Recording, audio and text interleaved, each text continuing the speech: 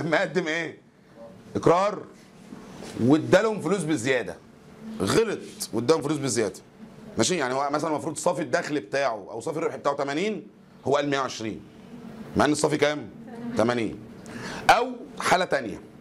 هو الصافي بتاعه 80000 بس لما جه بعت الواد حموكشه السكرتير بعته ب 82000 فحموكشه المفروض يعمل مشوارين. 80 للضرايب و2000 هيشتري بيهم بضاعة. قام حموكشه لهبل غ- فهم غلط وقام راح لموظف الضرايب قال له 82000 المعلم بعتهم لك. تمام كده؟ وقام مديله ال 82 كلهم. يبقى هنا اتدفع مبلغ إيه؟ زائد. تمام كده؟ زيادة عن المستحق. زيادة عن يلا مستحق. إيه رأيكم؟ نعمل إيه؟ رحبوا يا جماعة معايا بالبروك شادي عصام أسطورة.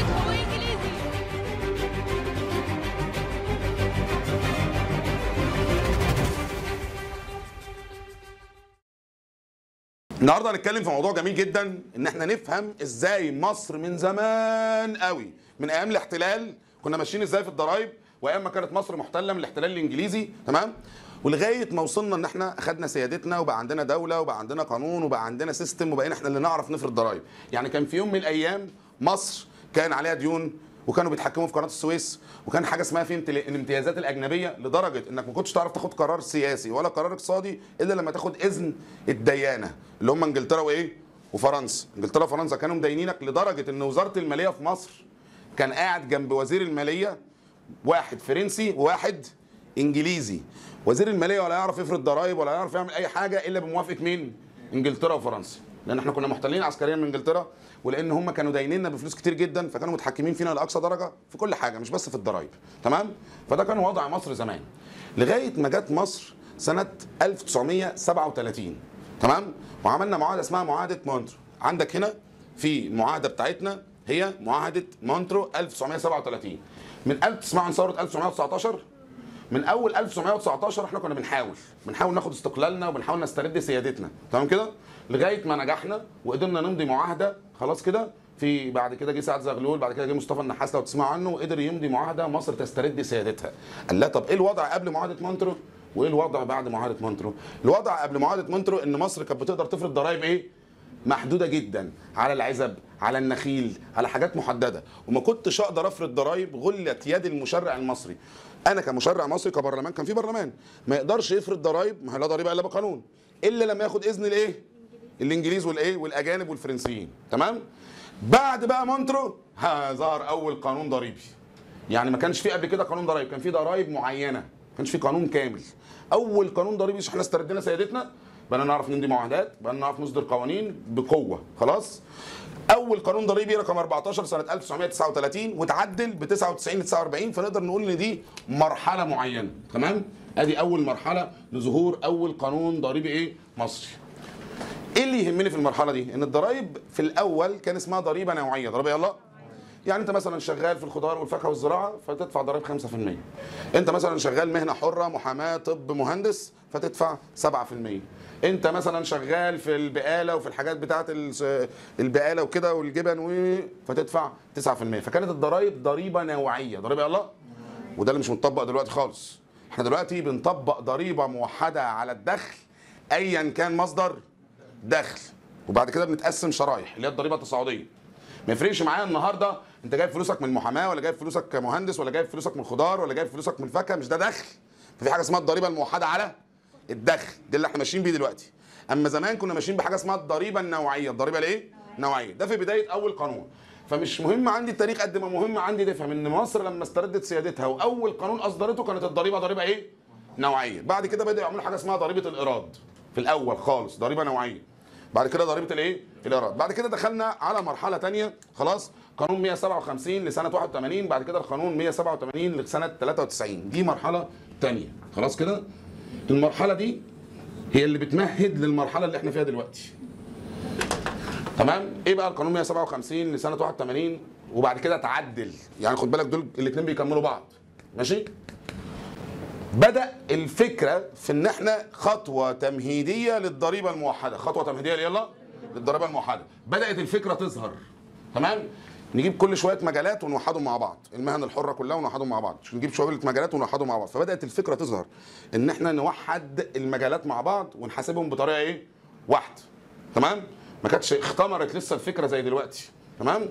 وبعد كده جه القانون اللي بعده. ها إحنا قلنا عندنا قانونين 157 81 و107 خلاص؟ و80 لسنة 93 إلغاء الضريبة النوعية. فلغينا الضريبة الإيه؟ النوعية دي. خلاص؟ وبدأنا نخش على المرحلة الجديدة وهو القانون إحنا ده اللي أنا عايزك تحفظه بقى الرقم ده عشان هيتكرر كتير معانا في المنهج. قانون رقم كام بقى؟ 91 لسنة 2005 تمام؟ من قبله كنا خلاص لغينا الضريبة النوعية. فاصلا دلوقتي نقدر نقول هل مصر تطبق الضريبة النوعية صح ولا غلط؟ غلط. أول ما مصر أول قانون ظهر قانون ضريبي لمصر كانت بتطبق الضريبه الموحدة على الدخل غلط. في الأول كانت بتطبق الضريبه الايه النوعيه لكن دلوقتي بتطبق الضريبه الايه الموحده ده اللي يلزمني إنك تكون فاهم الفكرة والمراحل. ماشي؟ طيب القانون رقم 91 لسنة 2005 ما يميزه؟ هو كده اسمه كده القانون الضريبي للضريبة الموحدة على دخل بتجيب فلوسك من الكفتة بتجيب فلوسك في السوبر ماركت بتجيب فلوسك محامي ايا كان مصدر الدخل من الصناعة من التجارة. خلاص كلنا بنتعامل معاملة واحدة تمام؟ طالما لينا نفس المركز القانوني ونفس المركز المالي فبندفع نفس الايه؟ الضرايب. وبيبقى بعد كده في حاجة اسمها ضريبة تصاعدية. يعني على سبيل المثال لو انت في السنة بتكسب أقل من 15000 لو انت إيه؟ ليه سنة؟ لأن الضريبة إيه؟ حلو. خلاص؟ أنا بكسب في السنة 14000 من محاماة وانت بتكسب في السنة 14000 موظف في شركة وانت بتكسب 14000 في السنة عندك سوبر ماركت. كلنا بنكسب أقل من 15000 ايا كان مصدر يبقى كلنا نفس المركز القانوني يبقى كلنا ناخد اعفاء. ما ندفعش ضرايب تمام؟ نخش في المرحلة اللي بعدها. تمام؟ طالما إحنا في نفس الشريحة ندفع نفس الايه؟ الضرايب فدي اسمها الضريبة الموحدة. يعني ايا كان مصدر وبعد كده بنقسم الناس إيه؟ شرايح كل ما شريحتك تزيد كل ما هتدفع إيه؟ ضرايب أكتر. تمام؟ لسه موضوع الشرايح ده بالتفصيل أنا بنتكلم عليه الحصة الجاية واللي بعدها. المهم إن أنت فاهم الفكرة. نخش على محددات التطور الضريبي. قال لا هو قانون الضرايب عادي يتغير ليه؟ طب ما كنا مشينا على القانون اللي عملناه من الأول. تمام؟ لأن الدنيا بتتطور دي سنة الحياة. فكمان القانون هي إيه؟ هيتطور تمام؟ فقال لك كل ما تتطور الظروف التاريخية والسياسية والاقتصادية كل ما يتطور الايه القانون تمام؟ وبالتالي نقدر نقول إن إحنا عندنا شوية محددات هي الظروف الداخلية والظروف الخارجية تمام؟ ونزود عليهم في الآخر حاجة اسمها الحكمة والأهداف تمام؟ داخليا هل مصر سياسيا واجتماعيا وثقافيا زي من من 100 سنة؟ لا طبعا. باشا أنت في زاد 1950 كنت 20 مليون بني آدم. النهارده إحنا 110 مليون. فعددنا زاد تمام؟ مصر ظروفها سياسيا واقتصاديا واجتماعيا بتتغير مش بتتغير بتتغير. يبقى كل ما الظروف الداخلية تتغير القوانين اللي بتنظم المجتمع هي كمان لازم تتغير. برضو الظروف الخارجية. العالم النهارده تمام؟ بقى عندك حاجة اسمها منظمة التجارة العالمية والبنك الدولي والمنظمات الدولية.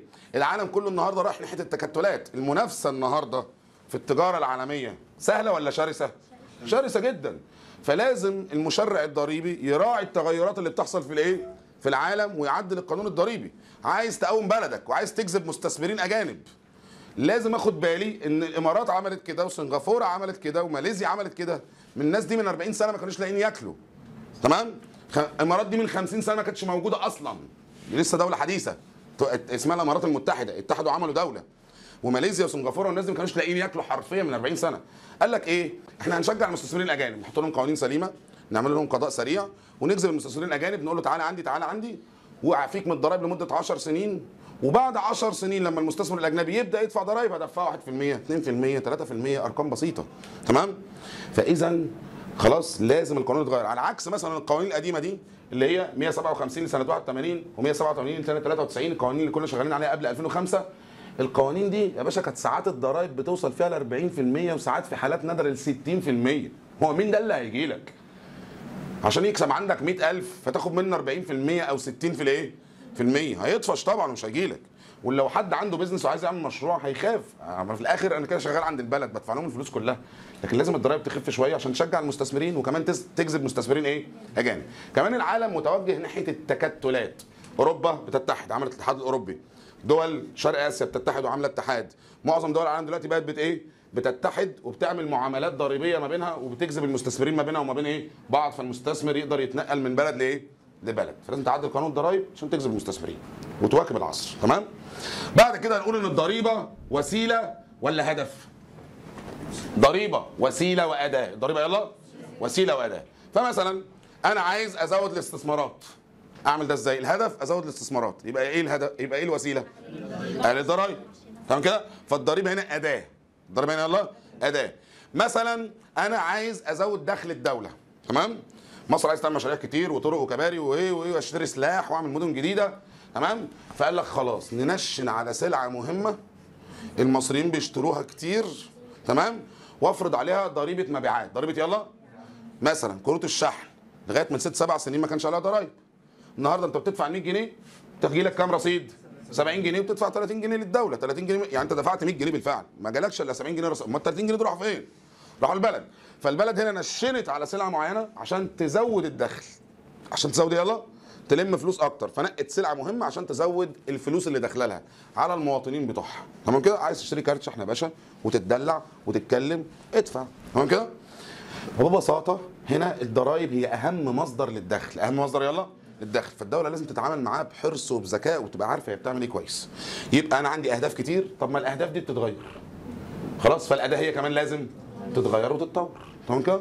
يبقى زود الضرايب واقلل الضرايب دي مش حاجة كويسة ولا حاجة وحشة. أنا بزود الضرايب واقلل الضرايب على حسب اللي أنا محتاجه. تمام كده؟ لقيت إن أنا مثلا عايز أطور الصحراء. واعمل استصلاح أراضي زراعية في الصحراء. أنت عشان تستصلح فدان في الصحراء تكلف ملايين. وممكن تقعد سنتين ثلاثة تستصلح في الأرض وما بتطلعش محصول يمكن تطلع محصول بعد تاني سنة ولا ثالث سنة. انت متخيل رامي فلوس لمدة سنتين ثلاثة ما طلعلكش نبات واحد تمام؟ فعشان أشجع مستثمر يتجرأ ويتجنن ويعمل حاجة زي دي لازم أعفيه من الضرايب لمدة إيه؟ 10 سنين تمام؟ النهارده عندنا لما أنت تيجي تعمل مزرعة دواجن كبيرة خلاص كده؟ أو مزرعة نحل أو أو خلاص؟ الدولة بتعفيك من الضرايب لمدة 10 ليه؟ إيه ده دي الأداة أهو. أنا استخدمت الضرايب وعملت إعفاء لمدة 10 سنين بالقانون لا إعفاء ولا ضريبة إلا بقانون. ليه بقى؟ استفدت أنا إيه كده؟ أمن غذائي عشان نوفر أكل عشان اشجع الناس إنها تشتغل في الحاجات دي. فبدل ما أروح أستورد لحمة وفراخ من بره يبقى أنا عندي اللحمة والفراخ بتاعتي. clear؟ فاذا كل لما أنا عاوز أحقق هدف جديد أنا عندي أداة قوية اللي هي اسمها أداة الايه يلا الضرايب أقدر أستخدمها في إن أنا أشجع نشاط أو أهبط نشاط. ماشي؟ clear؟ طيب نخش على اللي بعده. المهم بقى أهم التعديلات الجذرية في التشريع الضريبي المصري. أصلا العنوان بتاعنا اسمه الفلسفة الضريبية. الفلسفة يعني إيه فلسفة؟ كلمة philosophy أصلا جاية من كلمة يونانية قديمة معناها فيلو وصافي. فيلو ده الفيل يعني ولا إيه؟ تمام؟ فيلو صافي يعني حد يعرف؟ يعني الساعي عن الحكمة أو البحث للحكمة. فال philosopher اللي هو الفيلسوفي اللي إحنا بنقول عليه يعني تمام؟ هو الشخص اللي بيبحث عن الحكمة. دي طريقة التفكير.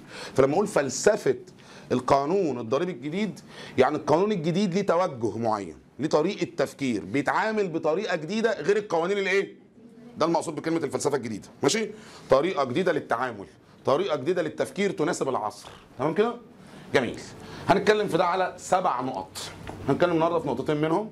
أول نقطة منهم القطع مع الماضي أو القطع مع الماضي ولما أقطع مع الماضي اقطع معايا يا مش عايز أشوفك تاني. خلاص؟ وأبدأ بقى مرحلة إيه؟ صاحبك ومؤذي وعمال يجيبك ورا والمرء على دين الخليل. خلاص ابعد عني. تمام كده؟ حاجة أزياك عادة أزياك في حياتك لازم تبطلها ماشي؟ يبقى القطع مع الماضي مقصود بيه إن أنا مش بس هعدل في الفلسفة القديمة لا ده أنا هبدأ صفحة جديدة تمام كده؟ يبقى القطع مع الماضي وبدء عهد إيه؟ جديد. فتح كلام هقطع مع الماضي يبقى أول حاجة هنعملها يلا. قانون رقم 91 لسنه 2005 يبقى هعمل إيه؟ المرحلة اللي قبلها كنا ماشيين على قانون وتعديله. يعني القانون ده 157 سنة 81 والقانون 187 سنة 93 دول اللي إحنا كنا ماشيين بيهم. ماشي؟ أول حاجة السلام عليكم. هفتح صفحه جديده بعمل يلا شد السفن على اللي قبل تمام كده؟ الغي إيه؟ القانون. يبقى أول حاجة هنلغي القوانين القديمة. ماشي؟ اتنين هنستخدم حاجة اسمها العفو الضريبي. حاجة اسمها يلا العفو الضريبي. عفى الله عما سلف. القوانين دي لما كانت متطبقة خلاص لغاية قبل 2005 في ناس عليها ضرايب. في ناس متأخرة في الضرايب. تمام؟ أو أنا عمري ما سجلت ضرايب ولا عندي بطاقة ضريبية ولا عندي سجل ضريبي. بس أنت بتشتغل وت إيه؟ وبتكسب يبقى المفروض تدفع ضرايب بس انت عمرك لا شفت مصلحة الضرايب ولا عمرك قدمت إقرار كل ده في ظل القوانين القديمة ولا عمرك دفعت ضرايب فتيجي الدولة عايزة تشجعك في السيستم الجديد من بعد 2005 تدفع بقى. لأن الضرايب دي أهم إيه؟ مصدر للدخل. في الدولة بتدخل ثلاث أرباع فلوس البلد. فانا عايز أشجع الناس. فلو أنت جاي لي بعد 2005 السلام عليكم. أنا هقدم إقرار جديد. ليه؟ زمان الضرايب كانت كتير فأنت كنت بتتهرب. النهارده الضرايب النسبة بتاعتها بقت إيه؟ أقل من زمان. فانا هتشجع اهو واجي. فجاي اقدم اقرار بعد 2005 السلام عليكم. اقرار اهو. أنا عايز ادفع ضرايب من اول جديد باشا انت عليك 10 سنين ولا انت بتهرب بقالك 20 سنة؟ طب هات القديم الأول. طب ماشي. طب السلام عليكم. اهو ماشي. ده أنا جاي يا باشا على جديده. أنا أصلا كنت بتهرب عشان القانون القديم ده بايظ. أنا بتهرب عشان القانون القديم ده سيء. أنا بتهرب عشان القانون القديم ده أصلا النسبة بتاعته كانت إيه؟ مبالغ فيها. فأنا جاي لك على جديد. ما تقوليش بقى ألبس القديم. فامشي هطفش.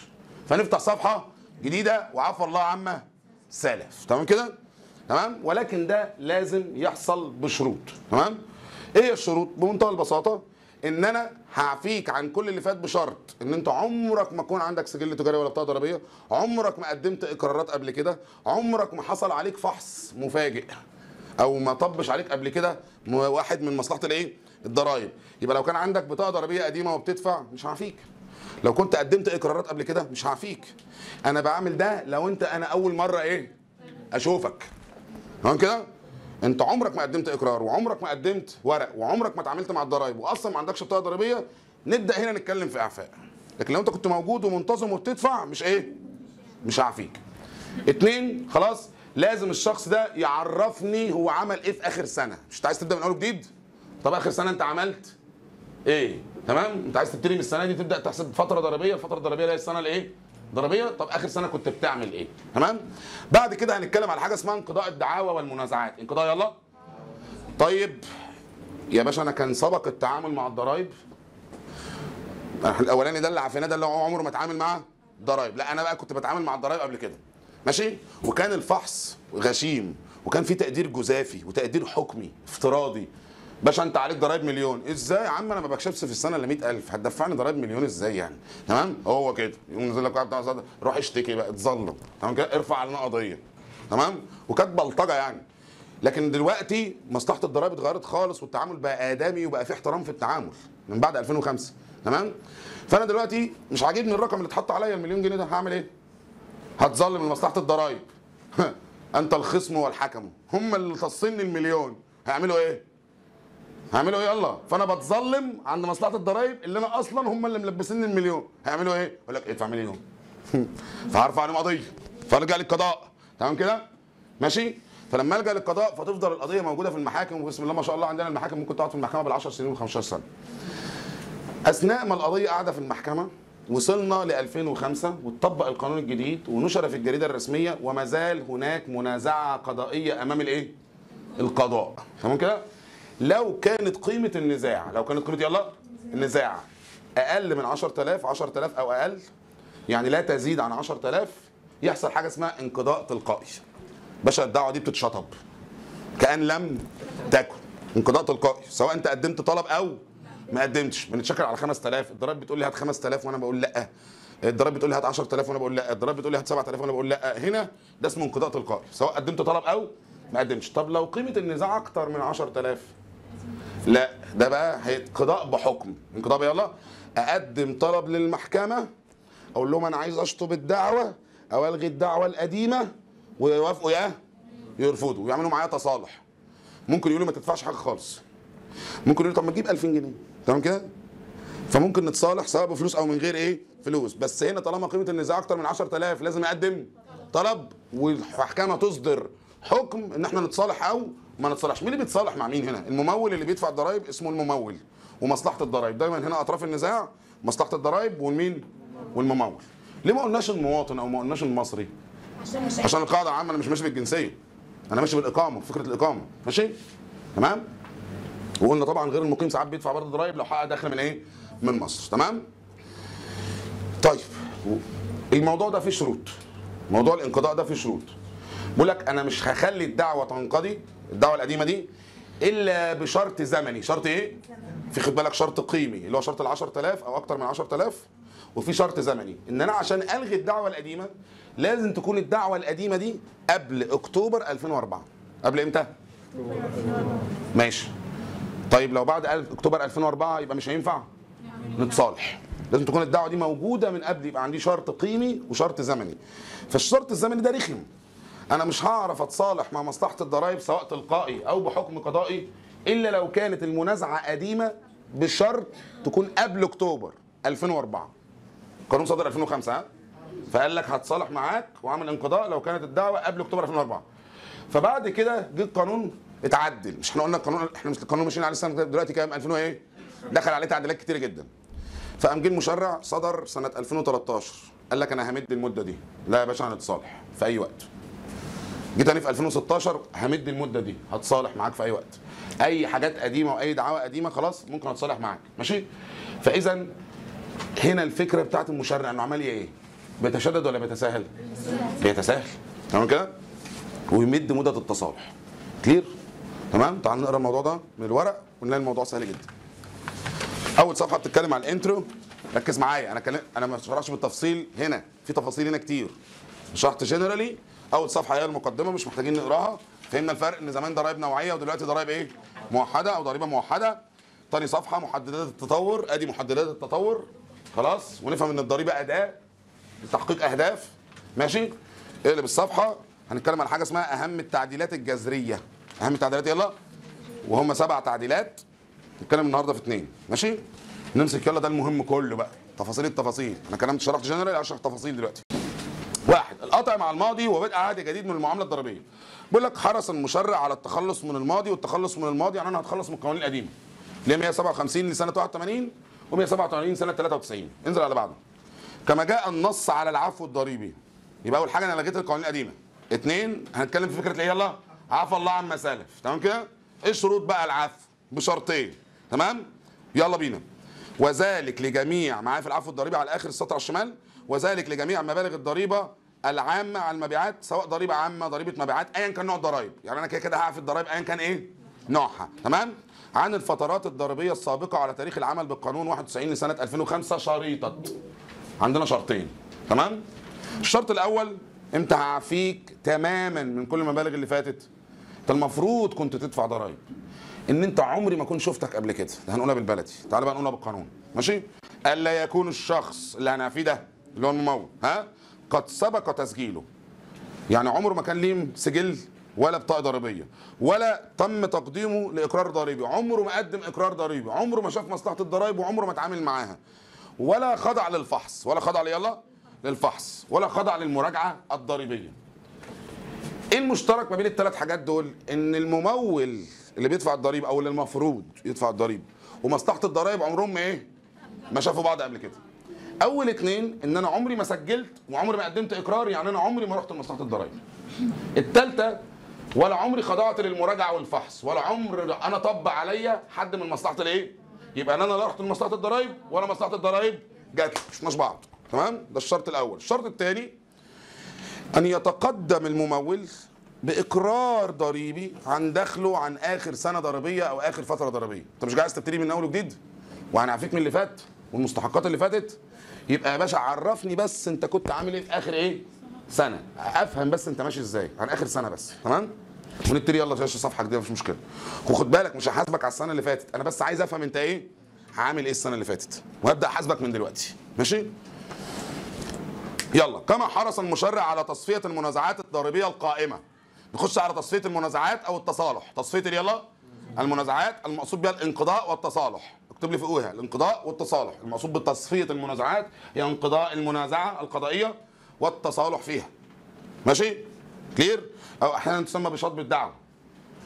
المهم عندنا نوعين من الانقضاء. انقضاء إيه وانقضاء؟ يلا. تلقائي وانقضاء قضائي. نص القانون في الانقضاء التلقائي على انقضاء جميع الدعاوى المقيدة والمنظورة لموضوع خلافها طبعا بيكون ضرائب وتقدير حجم الضريبة. تمام؟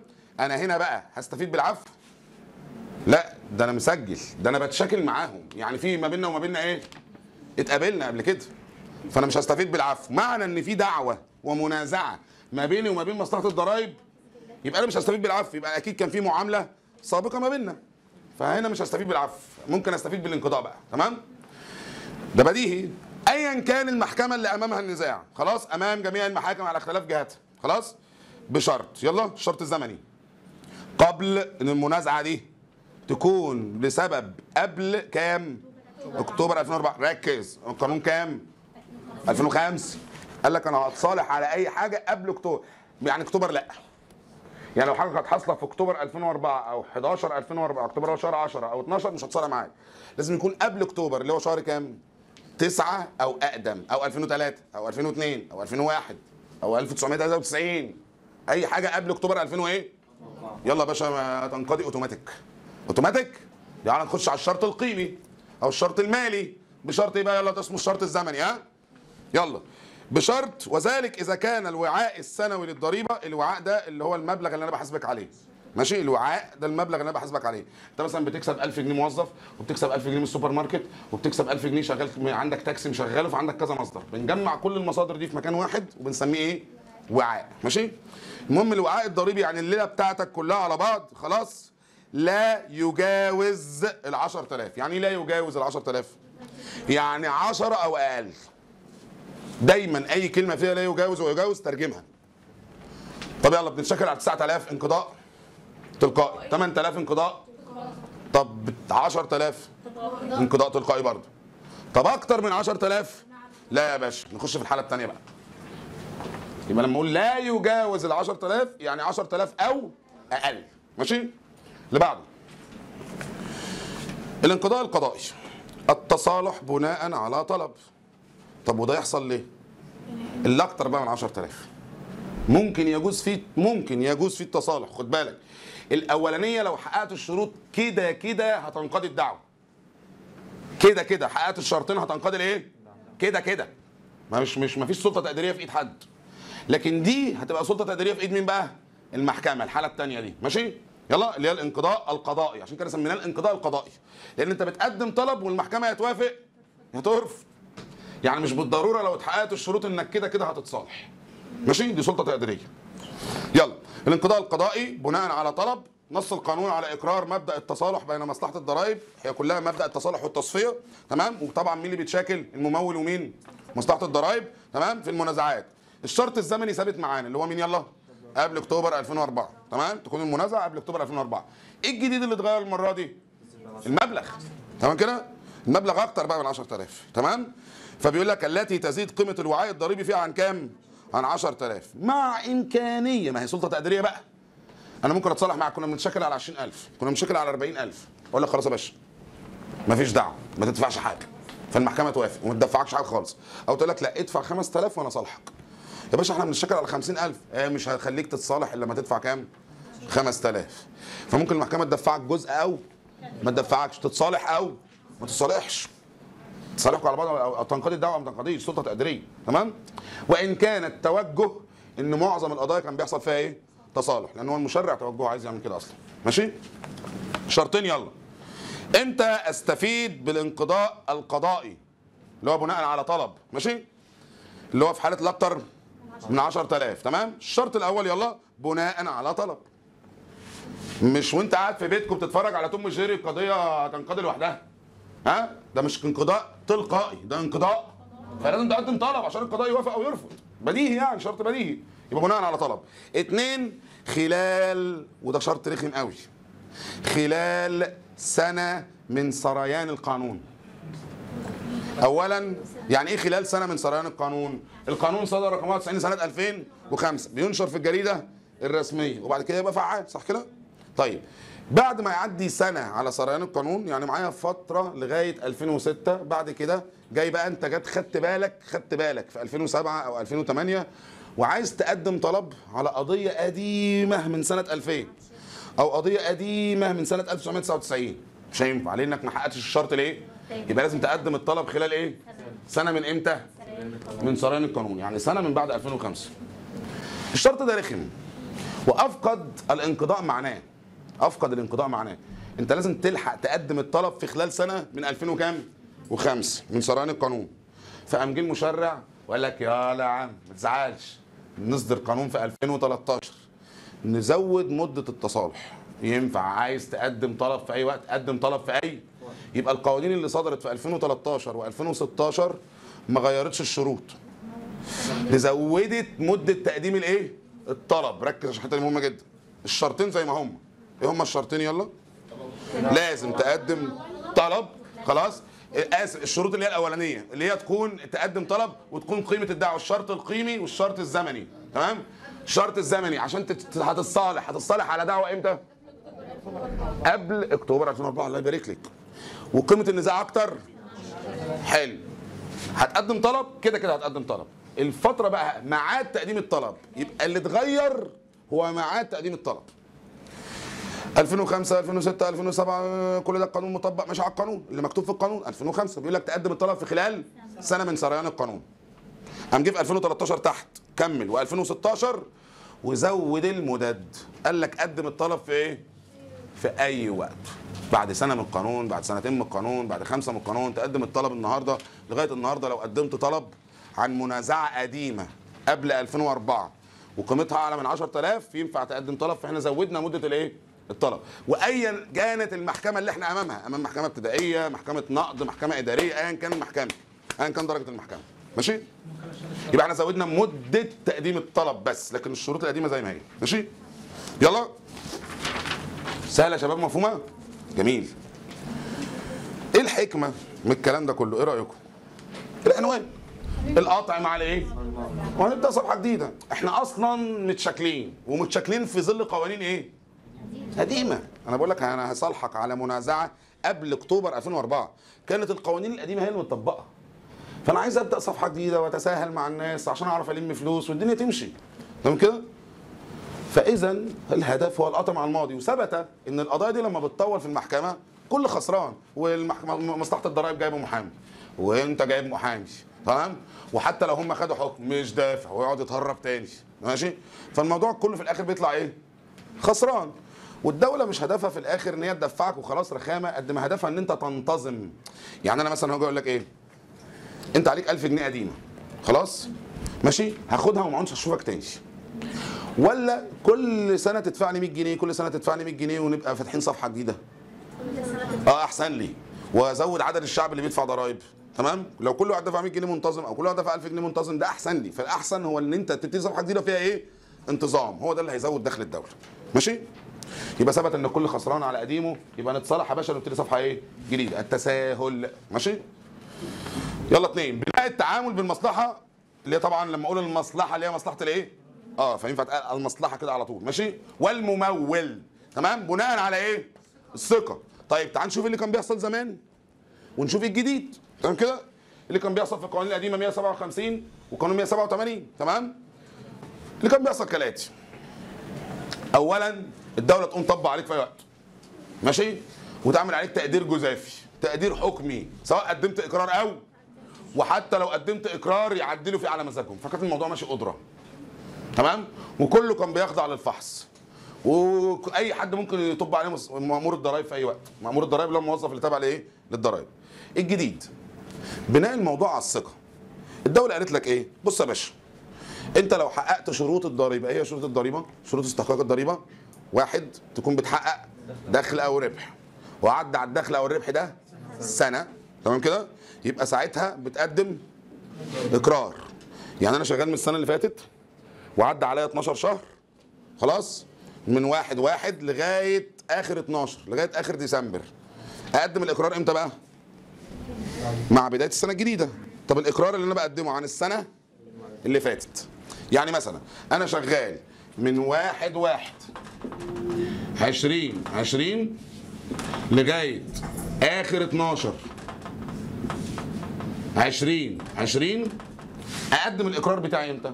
واحد واحد 2021 أقدم الإقرار بتاعي واحد واحد الإقرار هيتقدم واحد واحد عشرين واحد وعشرين لازم واحد واحد؟ لا معايا ثلاث شهور ثلاث شهور تقدم فيهم الإقرار عن السنة ده لو أنا شخص بيرفكت لو أنا شخص اعتباري معايا كام شهر اربعه ماشي كده فانت بتقدم الاقرار بتاعك عن السنة الضريبيه اللي فاتت السنة الضريبية السابقة بتسمى الفترة الضريبية السابقة.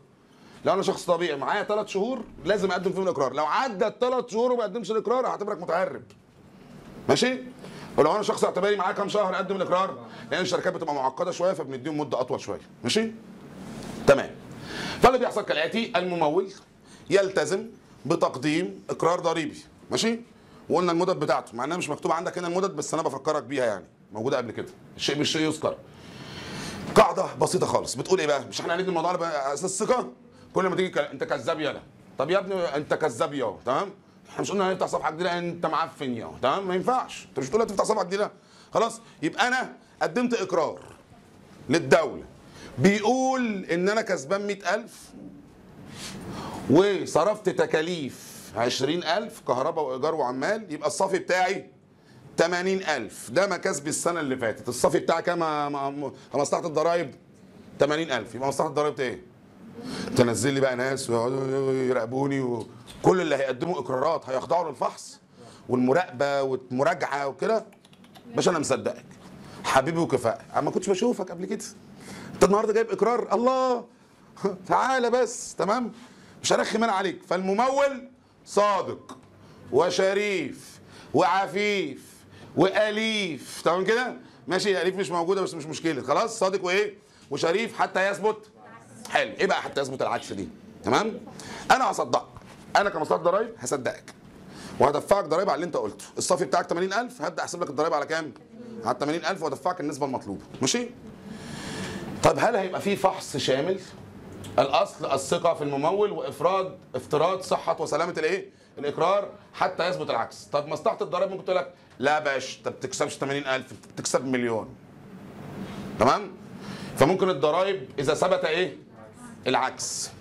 طب هل في فحص شامل؟ لا. لا يوجد فحص شامل. أمال يوجد فحص إيه؟ عشوائي. يوجد فحص إيه؟ عشوائي. مثال عشان نفهم. يعني إيه لا يوجد فحص شامل ولكن يوجد فحص عشوائي؟ مصلحة الضرائب اتقدم لها 100 إقرار. 100 شخص قدموا إقرار لمصلحة الضرائب في هم دخلوا كام وكسبوا كام وخسروا كام تكاليفه كام والصافي بتاعه 80000 ماشي كده؟ هل مصلحة الضرائب هتبعت لل 100 شخص وال 100 شركة دول أو ال 100 بيزنس دول مأمور يراقب ويشرف ويراجع عليهم؟ لا. إحنا بنفترض الأصل إيه؟ إن كلهم شرفاء. كلهم صادقين. نقوم منقين عشوائي خمسة. تعالوا لي. وبص هل الأرقام دي منطقية؟ طب هو بيقول إن هو مثلا آه، سوبر ماركت زي مترو ليه 80 فرع في مصر وبيقولوا إن هو كسبان 40000 بس. هل ده منطقي؟ بال 40 فرع. تمام؟ مش منطقي. تمام؟ وأبدأ أنزل أبعت له موظف. أنا هنا عملت فحص شامل لكل الإقرارات ولا نقيت عينة عشوائية؟ عشوائية. عينة عشوائية. وبدأت أفحصهم. أول حاجة أشوف هل ده منطقي ولا مش منطقي. تمام؟ فين بقى موظفين؟ دي شغلتهم. وبعدين انزل اراقب عليه. وادي له اخطار كمان الأول. أقول له باشا أنا جاي لك. يقول لي اتفضل يا باشا. يبقى مصلحة الضرايب بتختار الراجل ها اللي إحنا رايحين نفحصه. وبعد كده مصلحة الضرايب إيه؟ تيجي لي. وتفحص عليا وتشوف. وتشوف الموظفين. تقول له طلع لي الدفاتر اللي عندك. وريني دفاترك المنتظمه وريني system ك. وريني دنيتك. أشوف المحل. أشوف الدنيا. وأبدأ أشوف الأرقام اللي جات لي والإقرار اللي جالي ده. صادق فعلا؟ ولا أقدر أنا كمصلحة الضرايب بأوراق ومستندات وأدلة أثبت ان هو مش صادق. أثبت العكس. ماشي؟ وساعتها هيبقى لمصلحه الضرايب إن هي تعدل الربط. يعني إيه الربط؟ الربط والتحصيل الربط يعني تحديد الرقم الضريبة. أنا المفروض لما أجي أربط الضريبة عليك هربط على إيه؟ أنا مصدقك. بس أنت خضعت هنا للفحص وطلعت كذاب. تمام كده؟ يبقى ينفع أعدل في الربط. يعني أعدل في الرقم أو أعدل في الرقم الضريبة نفسه. ماشي؟ المبلغ. ده معنى الربط. تحصيل بقى يعني الم الفلوس.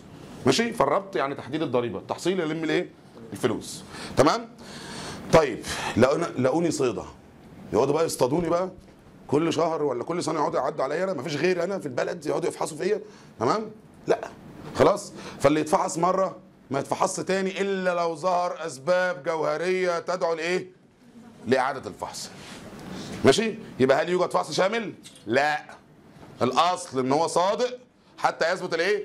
وقع تحت المفرمة. هنسمي المفرمة دي اللي هي الفحص الإيه؟ العشوائي نختاره ونروح له ونقول له أهلا بيك يا فندم ونشوف هو صادق ولا كاذب. تمام؟ تعال نقرأ الجزئية دي بعد كده نخش على آخر حاجة. ولا عشان مليانة تفاصيل برضو.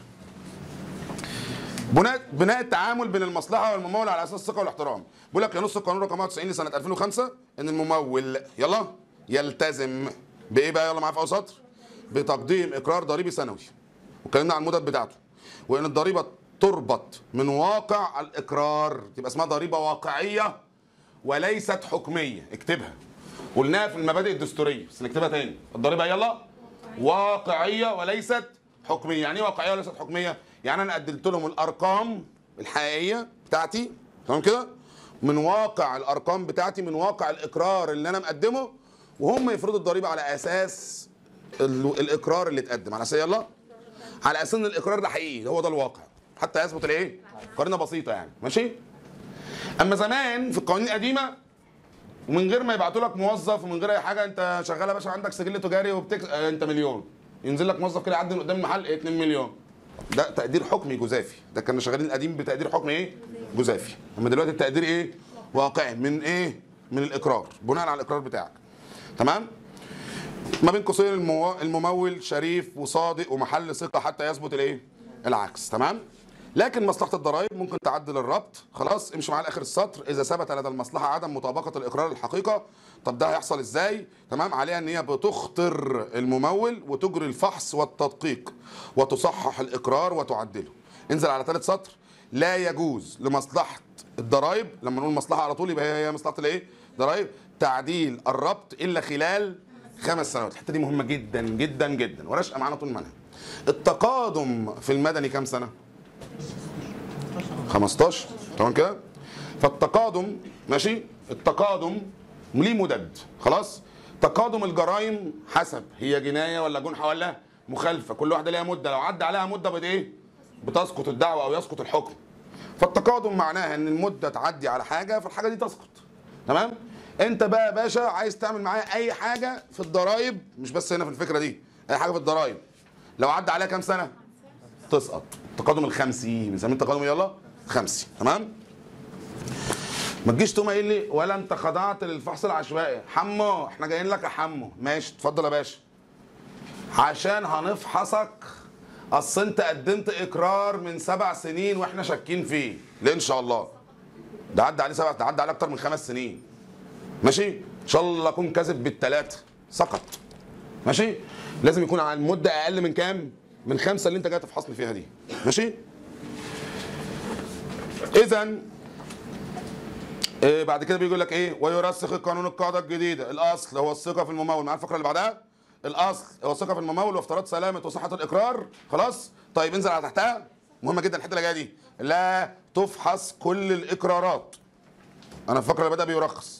اللي هو الكلمة هنا اللي كتبتها لك على البوردة لا يوجد فحص إيه؟ شامل. أنا مش هقعد أفحص كل الإقرارات. ما أنت بتفترض حسن النية ليه؟ لما هتف... لما هتراجع عليهم إقرار إقرار. يبقى أنت كده بتفترض حسن النية؟ ما تشتغلنيش. اللي يثبت إنك فعلا مفترض حسن النية إن أنا مش هفحص كل الإقرارات. أنا هاخد عين عشوائية. تمام كده؟ اذا لا تفحص كل الإقرارات. اذا لا يوجد فحص شامل وإنما يوجد فحص عشوائي. مش مكتوب عندك فحص عشوائي في هتلاقيه في ثالث سطر في السطر اللي بعده. تمام؟ فحص عشوائي. من يوجد إيه يلا فحص عشوائي. وإلزام المصلحة باختار الممول بالتاريخ المحدد للإيه؟ باشا إحنا جايين لك. جايين لك في الفرع الفلاني لو عنده كذا فرع. محددوا المكان والوقت تمام؟ قبل 10 أيام على الأقل. يبقى لازم مصلحة الضرائب تختاره وتبلغه. جايين لك يا معلم. ماشي؟ وما فيش ومنع المصلحة من إعادة الفحص. يلا. عناصر العناصر اللي المقصود بها بني آدمين أو أشخاص طبيعية واعتبارية. ماشي؟ بيزنس يعني نشاط. ما لم تكتشف حقائق جوهرية تستوجب إعادة الإيه؟ فحص. مش كل شوية تنط بقى مش كل شوية تنط لي. إلا لو كان يعني الراجل ده نصاب وحرامي وسمعته سابقاه وفي أدلة نصيبه وعليه أحكام جنائية وبلاوي كتير فممكن نبقى ننزل له كذا مرة. اما قدم إيه؟ إقرار. وادالهم فلوس بزيادة. غلط. واداهم فلوس بزيادة. ماشي؟ يعني هو مثلا المفروض صافي الدخل بتاعه أو صافي الربح بتاعه 80 هو قال 120 مع إن الصافي كام؟ 80 أو حالة تانية. هو الصافي بتاعه 80000 بس لما جه بعت الواد حموكشه السكرتير بعته ب 82000 فحموكشه المفروض يعمل مشوارين. 80 للضرايب و2000 هيشتري بيهم بضاعة. قام حموكشه لهبل فهم غلط؟ وقام راح لموظف الضرايب قال له 82000 المعلم بعتهم لك. تمام كده؟ وقام مديله ال 82 كلهم. يبقى هنا اتدفع مبلغ إيه؟ زائد. تمام كده؟ زيادة عن المستحق. زيادة عن يلا؟ مستحق. إيه رأيكم؟ نعمل إيه؟ ينفع استرد الزيادة دي؟ آه طبعا. المفروض تدفع المستحق بس. تمام؟ فيجوز استرداد المبلغ لو تم دفع مبلغ زيادة. تمام كده؟ بس بتقدم طلب. مش هيجي لك وانت قاعد في مكانك مش مصلحة الضرايب تقول لي يا عين أمه ده دفع 2000 جنيه زيادة ما نرجعهم له. لا يا حبيبي. انت لازم تقدم إيه؟ طلب. اتنين. خلاص؟ لأن هم مفترضين فيك حسن النية هم مصدقينك فالمفروض ما ياخدوش بالهم إن أنت غلطت. أنت اللي خدت بالك إنك غلطت قدم أنت إيه طلب. تمام كده؟ في خلال 45 يوم لازم الفلوس ترجع لك. في كام؟ طب لو الدولة اتأخرت بيدفعوا غرامة تأخير. يعني بيرجعوا لك في المثال بتاعنا الزيادة كانت كام؟ 2500 مثلا. يرجعوا لك 2500 يرجعوا لك 3000 يرجعوا لك 4000 حسب مدة الإيه؟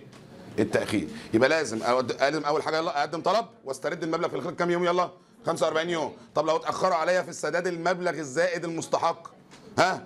هاخد يلا إيه؟ غرامة تأخير أو زيادة أو مستحقات زائدة عن المبلغ الأصلي. ماشي؟ حلو. طيب أنا بقى نسيت أقدم طلب. بعد ما الواد حموكشه لهبل اللي أنا بعته ده أهو 80000 الضرايب و2 2000 يشتري بهم بضاعة حموكشه لهبل راح دفع ال 82 في الضرايب. عدى سنة اتنين تلاتة أربعة. وأنا بقلب في الدفاتر اكتشفت إن من أربع سنين حموكشه لهطل دفع 2000 جنيه زيادة للضرايب. ينفع أقدم طلب؟ ليه؟ لسه ما عداش الخمس سنين. طب عدى الخمس سنين. bye bye حموكشه ارفد بقى حموكشه اقتل حموكشه انت وحياتك مش هتعرف تاخد فلوس. لأن حصل تقادم خمسي. تقادم الخمسي ده رايح جاي. سواء لمصلحة الضرائب حقوق أو للممول حقوق لو عدى عليها كام سنة؟ سقطت يا معلم. ماشي؟ آخر حاجة. لجان فض المنازعات ولجان التظلم. لجان يلا؟ فض المنازعات والتظلم. أنا خضعت للفحص أو في مشكلة ما بيني وما بين مصلحة الضرائب فبتظلم. مصلحة الضرائب قالت لي إحنا جايين لك كمان بيدوني اختار قبلها ب 10 إيه؟ أيام وهنشرف عن الفرع الفلاني والفلاني والفلاني وجايين لك الاقرار بتاعك ده مضروب. طبعا ده جه في العشوائي ها في الفحص العشوائي. نقوا هم بينقوا أنا جيت فيهم اصطادوني جولي. وأنا شايف إن ورقي سليم. ومعايا محاسبين وناس شطار جدا محاسب ضريبي شايف إن ورقي سليم وقوي. فمين هنا اللي بت... أنا بتشكل مع مين؟ يلا. مصلحه الضرايب فبقدم تظلم لمين؟ فدي مشكلة. كما قال المتنبي وأنت الخصم والحكم. تمام كده؟ الجملة اللي نيدي بيقولها في الفيلم دي أصلا بيت شعر المتنبي. فالمشكلة إن أنت تبقى الخصم والحكم. يعني أنا بشتكيك ليك. فما فيش حيادية. أنت هتحكم لنفسك غالبا. تمام؟ فقال لك زمان كان لجان التظلم بيرقصها موظف بدرجة مدير عام من مصلحة الضرائب فأنا بقول لمصلحة الضرائب انت غلطانة. احكمي على نفسك بقى إن انت غلطانة. انت غلطانة انت وحشة. تمام؟ مش هيحصل. ده مش هيحصل. تمام؟ فتعدل الكلام ده. وبقى اللي يرقص يلا علمني على عشان مهمة جدا. في آخر سطر قاضي أو أحد الأشخاص الاعتبارية العامة تمام؟ بقى اللي بيرقص الموضوع ده قاضي من مجلس الدولة يعني قاضي إداري أو أحد الأشخاص الإيه؟ العامة من أجل رفع مستوى الإيه؟ الحيادية والنزاهة والجمال والحلاوة. تمام كده؟ ماشي؟ أشوفكم المرة الجاية.